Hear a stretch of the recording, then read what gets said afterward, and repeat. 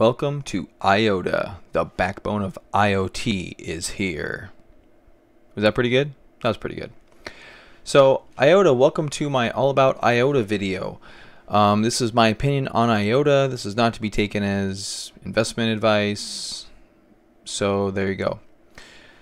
IOTA, if you haven't heard of it before, I'm going to give it to you in a nutshell up front in case you just want to leave the video immediately. IOTA uses not a blockchain, but something called a Tangle network to store information as well as provide free machine to machine payments. So IOTA is basically like three things in one. If you've come here because you've seen IOTA on CoinMarketCap and you're like, why is this thing ranked number five? I've never heard of this before. Well, you'd be correct. IOTA is a new player. It has new technology. it actually has a lot of differences from uh, Ethereum, Bitcoin, all these other types of things. It probably is more like Ethereum than anything else, which accounts for its rise and you know why it's sitting here at number five, number five as of August 18th, 2017, when this video is being made. So IOTA is, like I said, it has a Tangle technology to it. It doesn't use a traditional blockchain. It's going to explain more here. I'm basically just going through the website. This is nothing special. Um, you can do this on your own. I'm just going to kind of walk you through, in case you have some questions, what this is. So IOTA is developed around the Internet of Things. Think of your thermostat, your Fitbit, a temperature sensor, um, you know, water sprinkler timer, your car, it, it could be a number of devices. So as you can see here, what it's showing you here is you have an internet gateway. Um, so this is a Nissan Qashqai or something. Um, sends three mega IOTAs to on-street parking. So that's the car sending sending um, money directly to the parking meter. So in this particular one is talking about 5 megawatts of energy going to the grid. This is an electric car charging that's going to cost 6 mega IOTAs for you know for charging a Tesla Model 3. This is a storage center doing data storage. So from this point to this point, all paying the data storage center, basically you know machine to machine, uh, grocery store to cooling factory, ordering a new cooling element from the factory. Uh, this particular one says you know Fitbit data for bicycle for something. So you can kind of see what IOTA is going for here if you can think of Star Trek or any kind of you know very futuristic movie where things and payments happen automatically, you don't have to pull out a Visa card, you don't have to think about it. IOTA is trying to be on the forefront of that type of a of an of an economic ecosystem, so you can do anything and pay for things without having to pull out a Visa card or something else.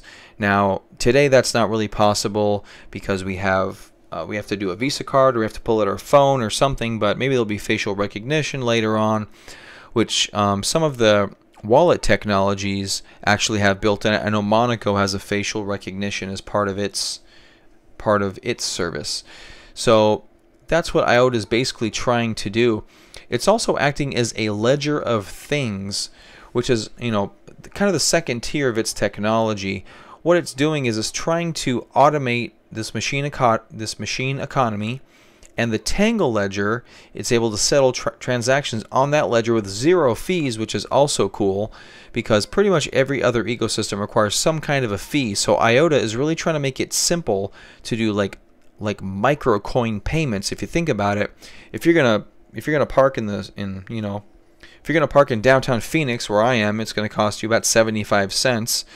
If you don't happen to have 75 cents on you and, and the parking meter has something you know that can use IOTA, then you can pay for it right then and there with your smartphone, which you're going to have 99% of the time on you. And with no transaction fee, it makes it a really low barrier to entry. So they're really trying to get get this in on the ground floor. Um, not not to mention, um, they mention here about storing data from sensors and da data loggers securely and verified on the ledger. So if you're trying to get, you know, you can get smart grid information stored on the ledger from all of these sensors, and it can almost act as a database. And if you think about it in terms of a database and in terms of its Tangle infrastructure, which I think we're going to get to here next, um, it can become very powerful because if you can take the data off of your servers and store it on this ledger, on this Tangle ledger, then you can access this information at any time. You don't have to worry about the data being corrupted, or you don't have to worry about the data going away due to a server failure. So, hey, I'm right here. So here it talks about the Tangle. Um, the Tangle is a different kind of a different kind of a blockchain so I'm just going to read read the paragraph verbatim because it's going to say it better than I can. The main innovation behind IOTA is the Tangle, a revolutionary new blockless distributed ledger which is scalable, lightweight, and for the first time ever makes it possible to transfer value without any fees. Contrary to today's blockchain, consensus is no longer decoupled but instead is an intrinsic part of the system, leading to decentralized and self-regulating peer-to-peer network. Read the white paper. So you can do that if you want to, but basically what this is saying is that the Tangle um, author, you know, basically authorize and they double check each other's work. So the blockchain is similar, but it doesn't it doesn't do it to the extent that Tangle does. What the Tangle does is it just it's everywhere. It's everything. And the blockchain doesn't quite work in that way. The blockchain is really kind of one block to the next block to the next block. The Tangle is it's a tangle of data. So as you can see that you know via the the little graph here, you're not going from one block to the next to the next. It can do any block at any time. Okay, so say if you wanted to reference one block, it can just reference that block. So microtransactions, this is what I'm talking about earlier. With the microtransactions, there's no fees associated with IOTA. So unlike Ethereum or Bitcoin or some of these other things, you can actually make these micropayments with no fees, which is pretty cool. Which is pretty cool. So again, if you want to pay that parking meter, it's going to be basically free because it will be free. Um, transfer data through the Tangle. This is another core feature of IOTA. Like I was talking about before, it's going to transfer this information through the Tangle. It'll even store it so you can refer back to it later. So and I'm, I'm actually going through the development of IOTA. So when I get when I get through that, even a little bit, I, I've just barely touched it. I will go through a little bit more of this data transfer and payments, and hopefully it'll go ahead and make a little more sense.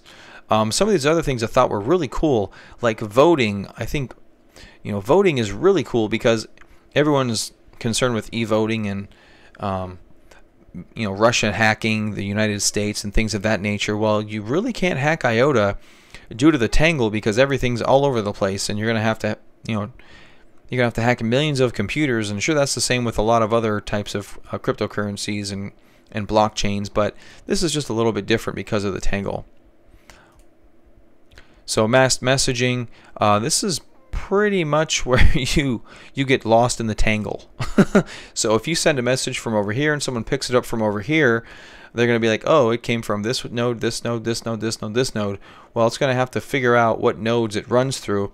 And from what it looks like, those are all encrypted, and you really can't tell what path you take through the tangle.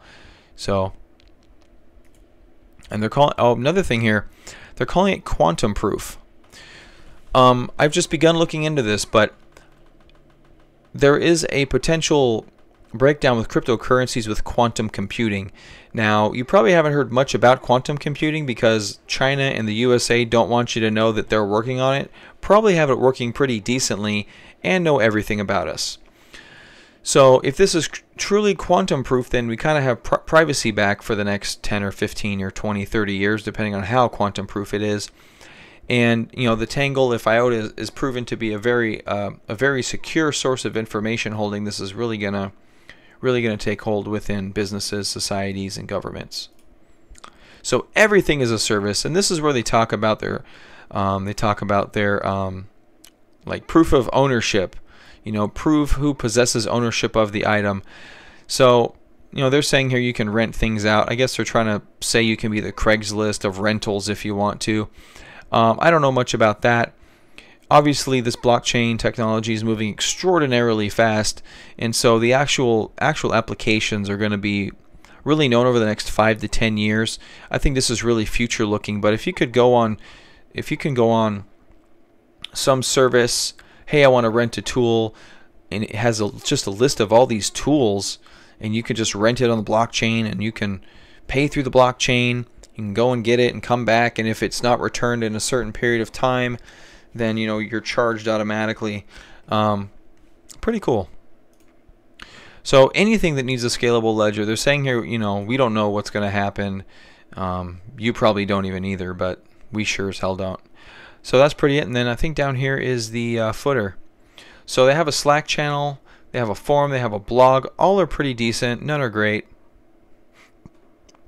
None are great. So let's get out of here. I want to show you their Reddit channel, their subreddit. 12,003 readers is their subreddit, which is pretty good. And seeing as, you know, they're, like I said, they're number five on uh, CoinMarketCap, they definitely, definitely are going to be here for quite a while. Um, IOTA is, IOTA's website is awful. I don't think it's awful. I think it's pretty cool, actually. So, you know, check out this Reddit. Uh, if you don't know already, Reddit is a fantastic information kind of store some of it's crap, some of it's not. It's kind of up to you to decipher that. But um, Reddit is really good to kind of see how many people are following these coins as you look through these smaller market cap coins. You're going to start to see some only have a couple hundred of followers. IOTA is at 12,000, which is pretty good. Um, I also want to show you IOTA's chart real quick here. Um, let's go to their daily chart.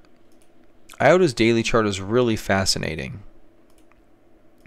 From a technical perspective, so just so you know, these black bars are selling bars. These are the red bars. The white volume bars are the green bars. From a technical perspective, it broke out and I don't count this wick up here as a bar, by the way. I, am sticking to these two highs. So I'm calling IOTA calling into breaking into all-time highs up here at about 62. You know, tested up here at a dollar ten. It's resting at here at about 90 cents. I think long term, this has a lot of room to run. Um, and it will. I think IOTA is one of the technologies that will make up the blockchain. If not IOTA, then the, then the Tangle itself. As you can see, they have their finger in so many parts, so many parts of the ecosystem. It can do so many things that something's going to take hold, whether it's the microtransactions, the data transferring, whether you use it for voting, mass messaging, um, you know, these are just examples, actually. These aren't even the different things they do, but you have the Tangle, you have the microtransactions that are free of charge. You also have the data storage on the network, too. I think one of those three things, if not more than those, um, or a combination of those, are going to be very useful in the future. So that's IOTA. I hope you enjoyed the video. Um, I'll talk to you next time. Have a good one.